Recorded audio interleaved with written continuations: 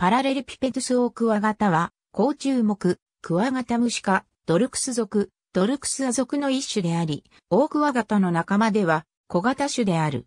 最も古くに命名された、ドルクス属の基準種とされている。和名には他に、骨のオオクワガタ、ヨーロッパオオクワガタが古くからあるが、日本国内で商業流通するようになってからは、本校のように首相名で呼ばれることが多くなった。オスの体長は16から30ミリメートル、メスの体長は17.5から26ミリメートル。オークワガタの仲間では小型種であるが、オークワガタらしい特徴を備えている。大顎は大きく湾曲し、小型であっても明確な内葉が一つあり、大きめ個体では大顎付け根近くの突起も存在する。広範囲に分布するが、個体変異は確認されていない。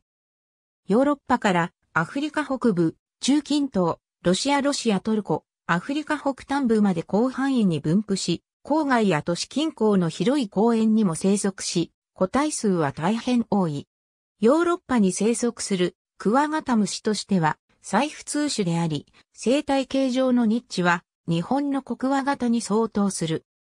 成虫は夜行性であり、柏類などの樹液に集まる。幼虫は太めの切り株など、やや湿度が保たれている柏類などの朽木の中で生活し、その朽木を食べて育つ。ビーリクはナンバーワン6世界の奥クワ型大特集。ありがとうございます。